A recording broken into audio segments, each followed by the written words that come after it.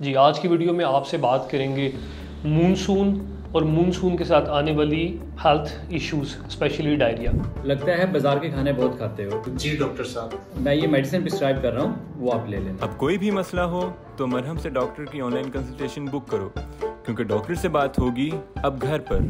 जी मेरा नाम डॉक्टर उसामा है मैं मरहम के साथ बतौर जनरल फिजिशियन एसोसिएटेड हूँ। जैसे कि आप जानते हैं कि मानसून का सीज़न बिल्कुल स्टार्ट है बारिशें हो रही हैं इन बारिशों के साथ जहाँ पे हीट से आपकी जान छुटती है, वहाँ पे कुछ हेल्थ इश्यूज़ हेल्थ कंसर्न्स भी आते हैं।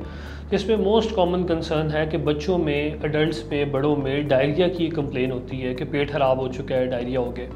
अब ये क्यों होता है? जब मानसून का सीज़न आता है तो इसके साथ मॉइस्चर डैम्पिंग ये चीज़ें बढ़ती हैं। ये एक मीडियम प्रोवाइड करता है बैक्टीरियाज को पैरासाइट्स को फंगस को ग्रो करने का, जहाँ पर होता ही है कि बारिशों के बाद वाटर कंटेमिनेशन फ़ूड कंटेमिनेशन और उसके बाद जो है वो आपका आपका इवन जो घरों में आने वाला पानी है, पीने वाला पानी है, वो भी कंटेमिनेटेड आता है। मानसून के मौसम में आप देखें कि जो बच्चे हैं, वो घरों से बाहर जाते हैं, उसी कंटेमिनेटेड वाटर में वो अपने हाथ डालते हैं, और फिर उसके बाद घर आके उन्हीं हाथों से वो कुछ ना कुछ खा लेते हैं, जिसकी वजह से डायरिया और अबडोमिनल पेन पेट में दर्द, इस तरह के मसले मसाइल आते हैं।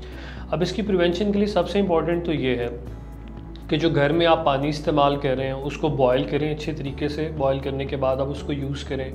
जो वेजिटेबल्स बाहर से आ रही हैं, उन वेजिटेबल्स को प्रॉपरली वॉश करें, उसको प्रॉपरली कुक करें और उसके बाद उसको कंज्यूम करें। जितनी भी आपकी इस तरह की आइटम्स हैं, जो स्ट्रीट वेंडर्स वगैरह बेचते हैं, वो कोशिश करें कि एटलीस्ट मानसून के पीरियड्स में उनको इस्तेमाल ना करें यूज़ ना करें।